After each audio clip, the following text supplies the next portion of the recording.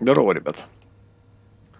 Программа для пакетного управления Harvey для больших грядок э, с управлением по одной контрольной лунке. Ну, то есть, если у нас это предназначена программа для больших огородов с однотипными культурами, то вот это вот маленькая индивидуально, это такая доследная делянка, не знаю, как это по-русски. Вот, лабораторные такие посадки с индивидуальным управлением. Давайте сразу перейдем к кодику, там он что-то понасобирал. Семена корректно собирает, все хорошо.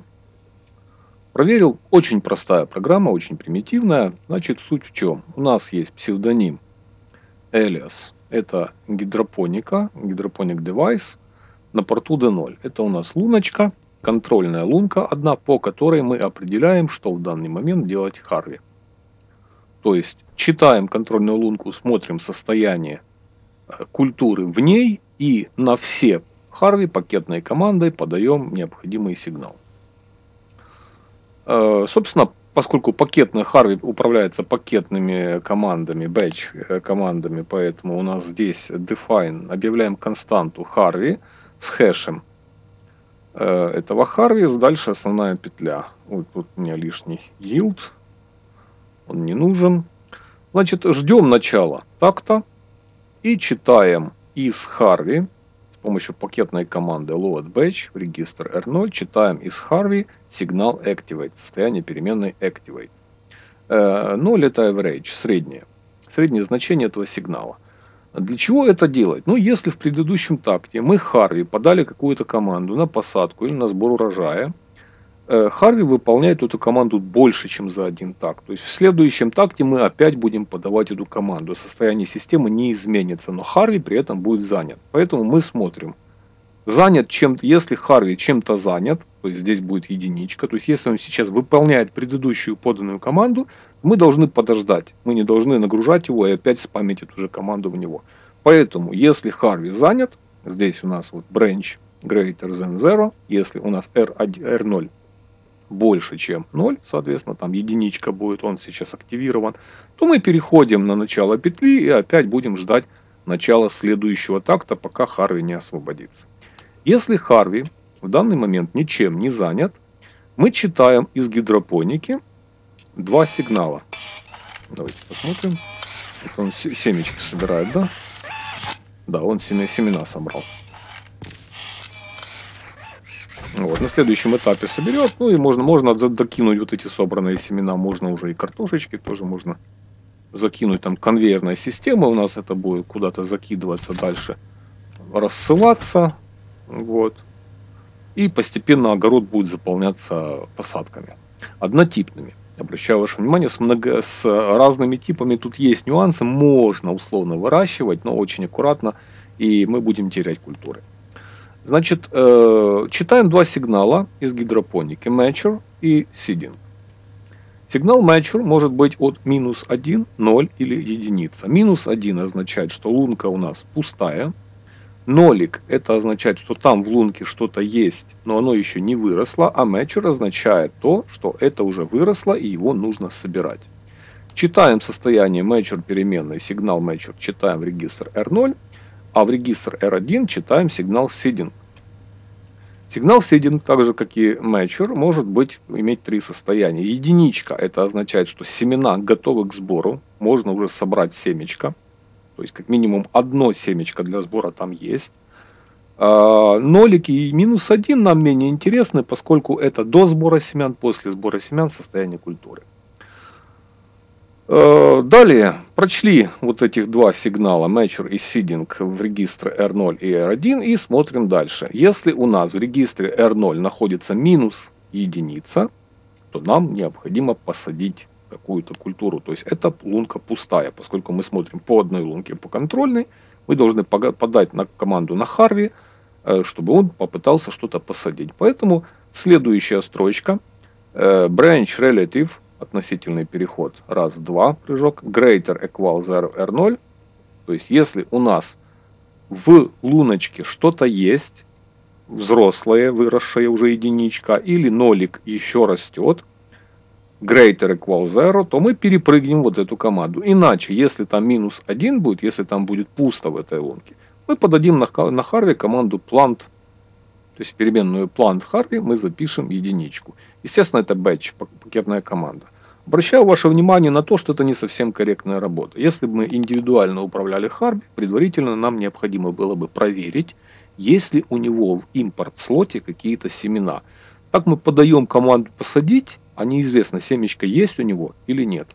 Но вроде бы работает корректно. Если будут какие-то глюки и баги с этим, я так сильно тщательно не проверял, то э, отписывайтесь под видео, будем пытаться это решить как-то, каким-то образом.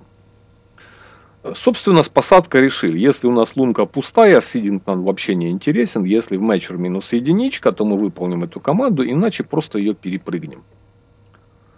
А, следующая команда select, она выбирает, по чему мы будем смотреть. Значит, смотрите, R0 у нас селектор, это регистр селектор.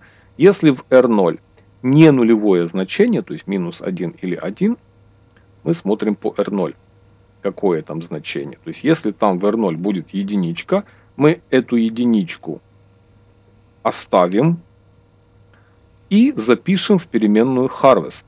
Если там будет минус единичка, то есть не посаженная, мы эту минус единичку тоже оставим и запишем команду harvest. Но harvest это, это переменная, которая запустит э, процедуру сбора урожая или семечка только в том случае, если туда будет записана единичка. То есть минус один не пройдет, он не сработает. Поэтому Харви, если у нас в случае с R0, если у нас здесь пустая лунка, или если у нас здесь э, matcher заполненная лунка, то есть если в случае с пустой лункой он не сработает. В случае с нулем аналогично не сработает, потому что если у нас R0 будет равно нулю, мы будем смотреть на R1. То есть вот эта команда, у нас будет выполняться в любом случае, но приведет к сбору урожая она только в том случае, если или здесь, или здесь будет единичка. То есть, если здесь будет минус один, э, нолик точнее, то есть нолик означает, то есть если матчер, то есть там культура какая-то растет, то есть минус один это пустая лунка. Ноль это значит посадили, но неизвестно семена есть и нет. То есть если там что-то посажено, R0 равно нулю, то есть регистр selector равен нулю, мы будем смотреть на R1. Если там что-то посажено, мы смотрим, есть семена или нет. Если что-то посажено и не взрослое. Если это взрослое, мы собираем семена, смотрим на R0 тоже, если это взрослое, подаем сюда на harvest единичку и собираем э, урожай. Э, ну, немножко мутно, наверное, с селектом объяснил. Ну, как- как-то так вот оно работает. Ну и подаем, собственно, команду на harvest, затем Подожди, а что у меня? Я же удалял вроде. Сегодня я уже удалял, по-моему, этот лишний yield. Так, что там у нас? Давай соберем еще вот две картошечки, посадим еще три.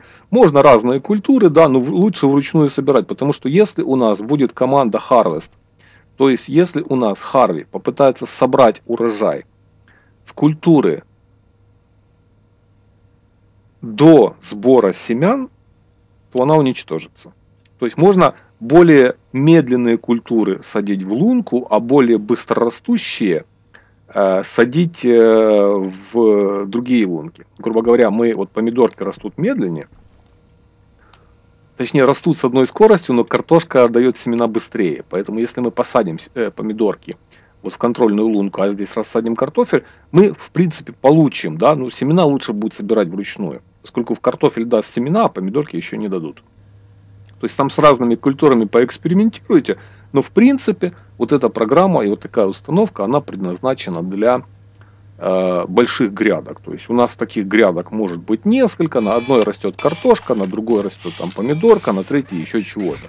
То есть это для больших таких огородов. Да? То есть если у вас на поле растут там, я не знаю, арбузы, например, да, то вы же не будете по каждому арбузу смотреть. Вы посмотрели там с краю, ага, урожай уже можно собирать, приблизительно средняя спелость. На поле у вас э, более-менее нормально. Вот. А что-то, мне кажется, много, да, посадил. Ну, посадил и посадил. Ладно, не будем затягивать. Программа, я, наверное, как ее оформлять прям вот так вот не буду. Тут я красивый заголовок написал, Hervey Batch, название программы. Э, просто вот этот кодик без э, пустых мест, вот в таком вот виде, закину под э, видео где-то или в комментарии там закреплю.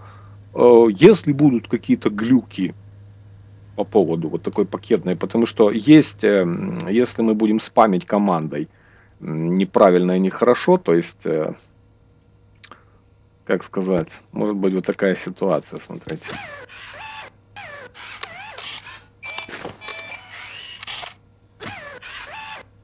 Такая ситуация приведет к поломке системы.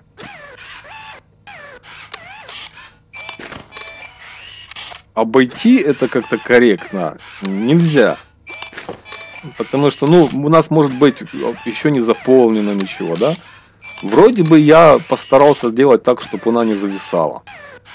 То есть есть возможность зависания, да, ну вроде, вроде бы вот все, все нормально работает. То есть вы либо в первой лунке, либо вот в первом контрольном Харви, первом Харви, который работает с контрольной лункой, должны быть семена. Иначе программа постоянно пытается посадить, но не может посадить. То есть вот такой вот маленький нюанс. Ну и, естественно, это сбой цикла может быть. То есть первая контрольная лунка, там должно быть семечко.